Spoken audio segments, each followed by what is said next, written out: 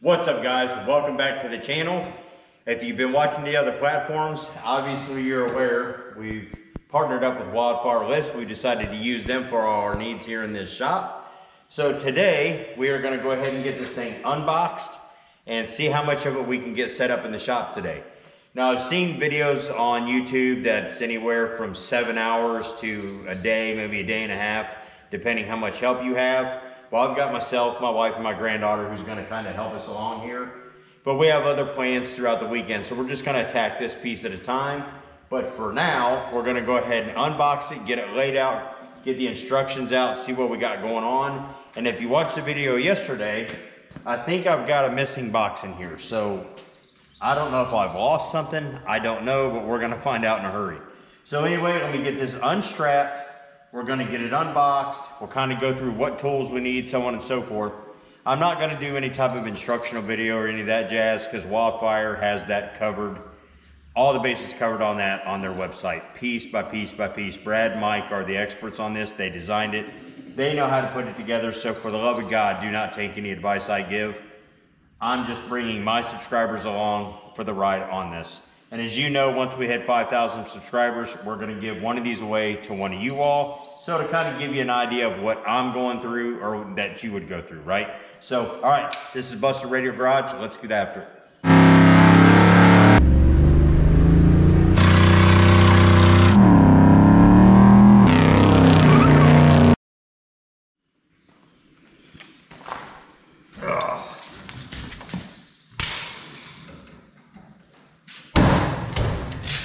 I've said it before, guys, they are not a sponsor of this channel at all whatsoever. But these Vulcan automotive straps, I mean, they're amazing. We've used these things for everything, and they have never let us down. They're pricey. I mean, I think this set was like 170 bucks, but I mean, good night. They, they're awesome for anything. So if you're going to get straps for a trailer you're about to buy, or going to go get straps for general needs, pony up the bucks and get this. Um, Vulcan, any of you are watching this, and I'll tag you in the description. Uh, you guys do a great job over there. I mean, these straps are used for tying cars down, but I've used them for hauling lumber out of the woods. I've used them for like this. I've used them for our cars. I don't know what else, Kathy, but we've used them for everything.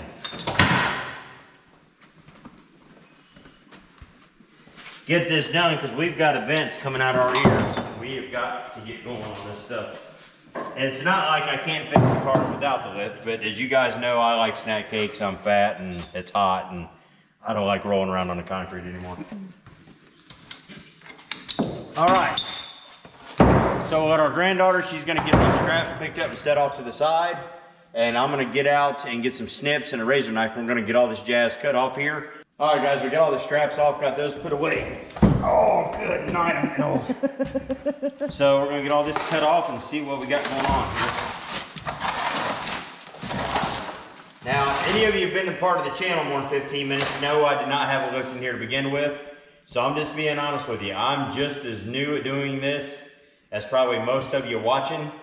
And uh, again, whoever wins one of these at the 5,000 sub mark, you can kind of look back at this and, you know, learn from all the mistakes I'm about to make.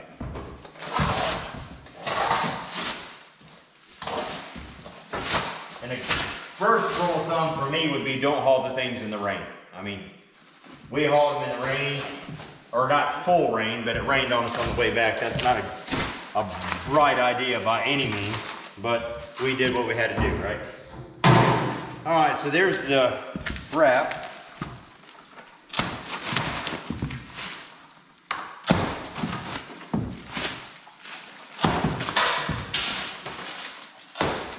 Good night. All right. I know a lot of people like the unboxing portion of videos. So maybe I'll slip some of that like real slow montage music in here, you know. Dun, dun, dun, or Vanna White it for you, maybe.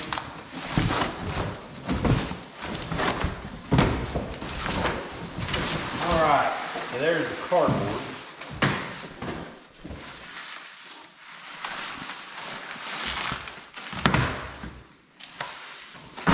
Now my understanding is, judging by, I'm sure there's instructions in here and I'll get them out, but I think they use engine hoists to move these ramps around. So we'll get to that when we need it.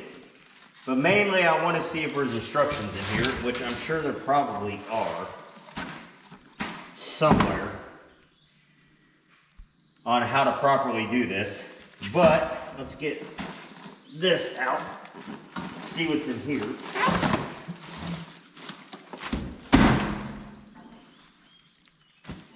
Okay, there is a manual in here. So let's see what we got.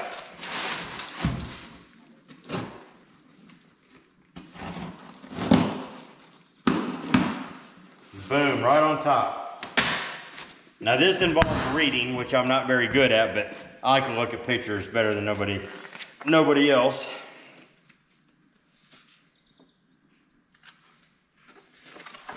Check this out, guys. Look at this. Full instructions with color photos. I mean, they make it to where it's virtually impossible to mess this up. So, I guess we need to find step one and just go from there. So here's the columns, how to set everything up. So that's what we're gonna do. So I'll tell you what, we'll get this set up on a stand and we'll do the whole like sped up with fancy music stuff kind of thing for you. And then we'll stop intermittently and show you kind of like what's going on.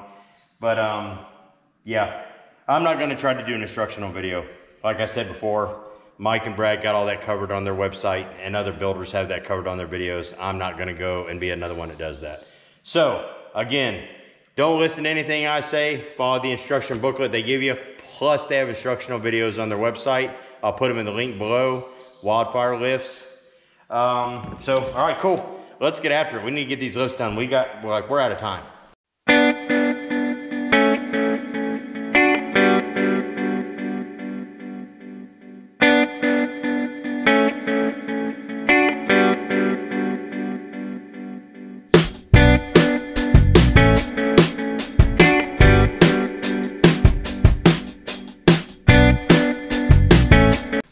Guys, it's been about 45 minutes-ish, and we've got everything kind of somewhat laid out. So, as you know, if you've watched the channel more than three minutes, I'm a big table nerd.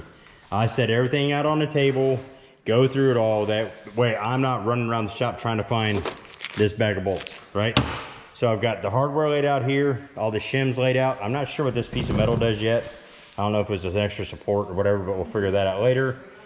So I've got everything kind of laid out. There's the caster set up, the ramps, the pump itself. We kept that in the box so nothing happens to it. And then here's our first two pillars we're going to set up. And I'm just gonna be straight with you. I'm going 100% beside this, or 100% off this manual he sent. The color photos, I, uh, when you're talking about something like this, that where you could potentially hurt yourself or somebody else, yeah, I'm gonna play by the rules. And then here are our side supports, wildfire lifts. Here's our next two pillars, and the girls are unpacking the ramps. And what I really like about this is how they pack this whole system up. I mean, you use every bit of it. And I believe the only two pieces we're gonna have left really are just these uh, these outer supports and I'll use those for something in the shop. I mean, you got all four corners, you know, you just weld a brace in and you got a, you got a welding table or something, right? So, all right, guys, I'm gonna set you back up and we're gonna get back to putting this together. There's gonna be quite a few time lapses in there, just kind of show you what we're doing, piddling around in the shop or whatever. But I'll intermittently stop and kind of give you some footage on what we're doing because we are not going to be in any big super hurry and cut any corners or anything on this because I do not need myself, my granddaughter, and my wife hurt over cutting a corner. So we're going to take our time, do this the right way, and uh, hopefully get Linda on here today and they're going to re reheat the process for homers.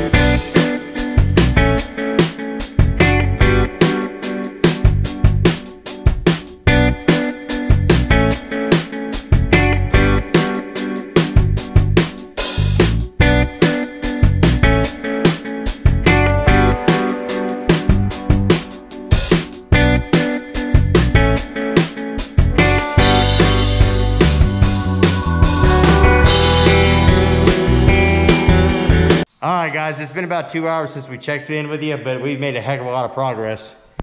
We've got essentially the frame all put together. We got the ramps put on. I got to move the engine hoist. This is all bolted in. But now we're getting into stretching the cables or compressing that cylinder so we can get the cables run up to the locking system here, up in and tied to the top of the post.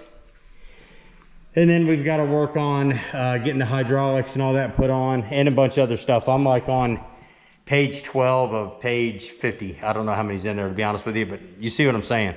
So I got a lot more to go, but this looks killer in here. So we're gonna keep plugging away. I know you guys are seeing a lot of time lapse in here with me jumping in, time lapse, me jumping in. We're probably four hours and some change into this. I think the average time is about seven hours for two people, which we're, looks like we're gonna stay pretty on par with that. So we're gonna keep plugging away. I appreciate you guys hanging in here with us. Eventually, here in the very near future, somebody's gonna have another one of these in their shop. So let's keep going. Make sure you guys are smashing that like button, hitting that subscribe button. Oh, score right off the bat. Will you me that Rizal right? Behind you. Behind you, mate. Hi.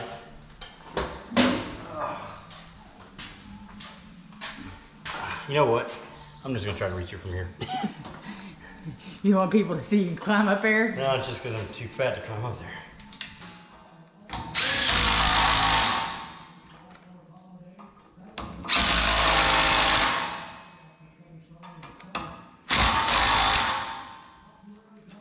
Give it back. Coop. All right, guys, cool. So what we got, where we're at now is an update. So we got here, Kathy can show you, we got all the safety linkage hooked up. So all the safety linkage is done. Uh, we're putting on the main control panel bar now. Um, yeah, so we got everything underneath hooked up. We got the cables run up to the top supports. There's actually covers that go over these pulleys, but for some reason they're not fitting right. And I think it's because there's just so much slack in the cable. So we had to skip that step for now um, until we get some weight on here and see if this straightens out. If not, I'll have to get a hold of Brad and Mike at Wildfire and see like why these are not fitting. And then also, it was shipped without a snap ring for this pulley. So this pulley keeps coming off. So I'm gonna, to, I'm gonna run and buy a snap ring kit to fix this, which is no big deal. I needed a snap ring kit anyway. We're gonna go ahead and install the pump, which is sitting over there in a box get it mounted up over here and hook up all the hydraulics that go up underneath the runways here. And then, other than that, I think, yeah, we just got to install the stop plates and the ramps, but I'm not to be able to run this today because I do not have the fluid, so I'll go get it tomorrow. Then we got to install the jack tray that goes in the middle here. Uh, we've got the drip pans and all that jazz, but they're not going to go in there right now. So we're getting super close. Like I said, average person on the old YouTubes was saying seven hours for two people. I would say, judging just for somebody who's never done it before, that is pretty accurate. Because um, once you get into down here, getting all these cables hooked up, when you're starting to get into like the safety stuff, you know, you take your time. So, um, other than that, I'm gonna go ahead and get that pump installed and I got to go see it in order for us to buy anything we got to go a half an hour way up to Maysville and buy that. So I had to go half an hour up the road to buy a snap ring kit so I can put a snap ring on that pulley. And then put some weight on this old girl once I get the fluid. And then we got to figure out those covers will fit here. And then if they don't then yeah I got to figure out what's going on. Because there's a big here I'll show you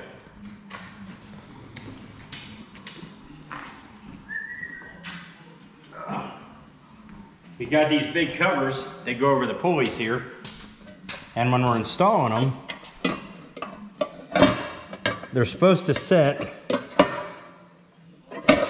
back in here, but I can't shove them back all the way because it's catching the cable. So if I go to run this up and down, I'm gonna end up snapping this cable or tearing up the bracket. So I gotta figure out what is going on there. I figured maybe I had the cables run wrong like maybe the cables are supposed to go around back but I don't think so because over here in the photo, it shows that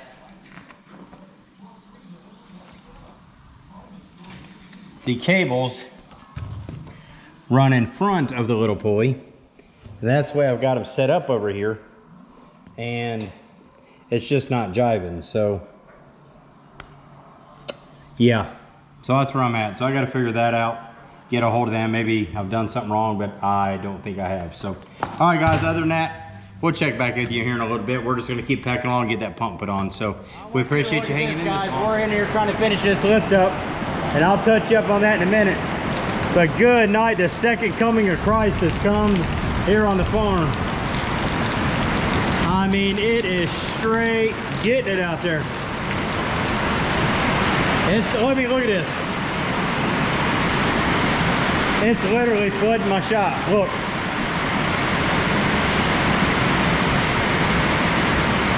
It is insane how much water's going in out there.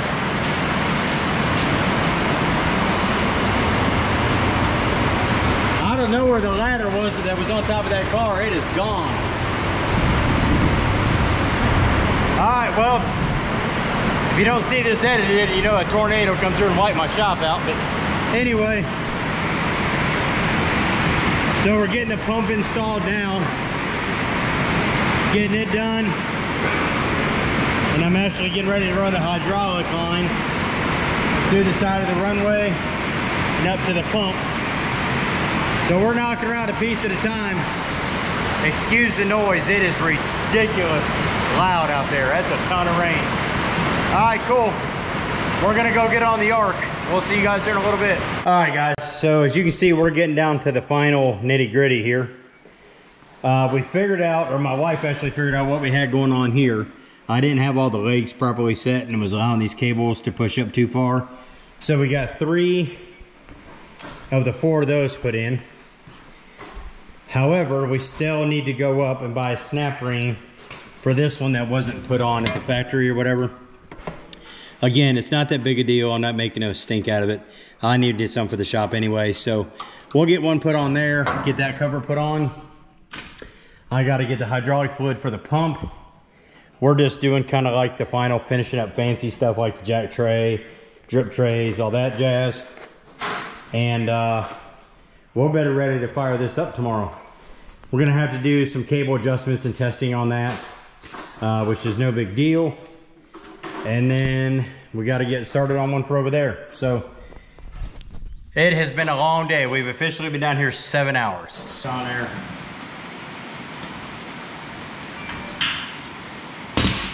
Cool. And that locks in there now. Set those. Made in China.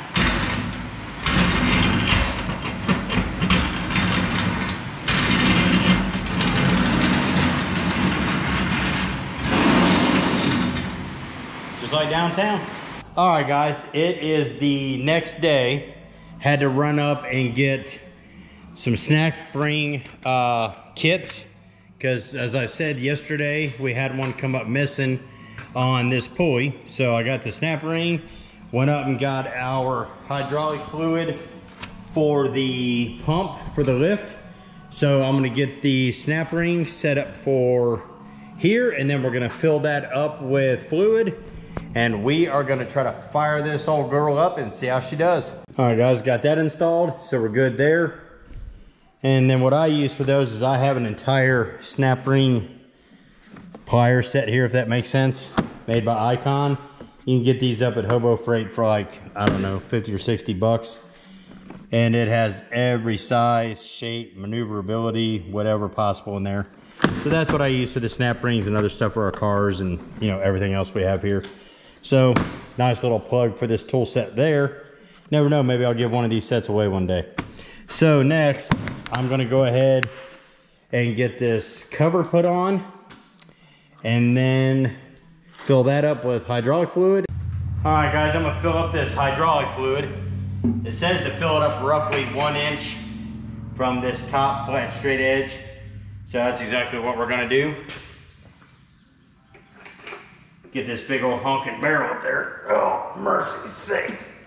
without eating any of it and making a mess. Ah, that might help. Take his vent cover off. Oh, now we're cooking with Crisco. See what happens when you read instructions, which I didn't? Well, I kind of did. But I didn't pay attention to that vent. I am just making a mess. Now where to plug this in at. All right, guys, as far as plugging this in, the plan is to run it up the ceiling and plug it in over there in this outlet for a permanent solution. Another permanent solution is also to bolt this all the way to the ground, which neither one's gonna happen today. I just wanna get this operational so when I'm ready to go, because I'm gonna have to get the trailer out to get Linda up here on the lift, which probably is not gonna happen today. But for now, so I've got to find an outlet to run this plug to, which I'm thinking there's one buried over here somewhere. I've just got to find it. And we'll get this thing running. So give me just a second. All right, guys. She is ready to go. Ramps are sitting over there, but I'll put them on uh, before we go to playing around with it a whole lot. Because like I said a minute ago, I got to get this mess cleaned up. I got to get the trailer out of here uh, get this table out of here. I gotta get Linda pushed up here on the lift. I had a little bit of adjustments to make on the torsion bar that goes underneath the one runway, but that's expected because it even says in the instructions you're gonna have to do some work on that. Had a little bit of a hydraulic leak because I put the hose clamp on here, not close enough and it kind of unloosened it, whatever. Growing pains of doing this. Like I said, you know, you're gonna learn from my mistakes, right? So she works like a champ. Up she goes. You'll hear it lock in here just a second.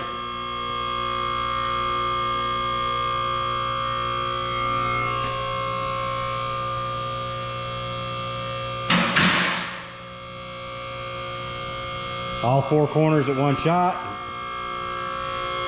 So we got everything pretty well dialed in, which is awesome. So it just goes up with this little green button. And then to go down, you hit, I can't do it at the same time, but you hit your release here, your release here, and down she goes. So we're gonna get all this cleaned up, get the ramps put on.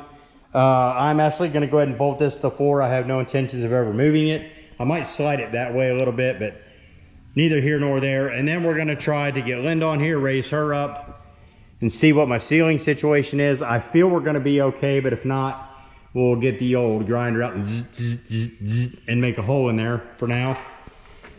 But anyway, that's a pretty long episode, but you know, I kind of figured it was gonna be. Special thanks to my wife who's over there making sure I don't lose anything.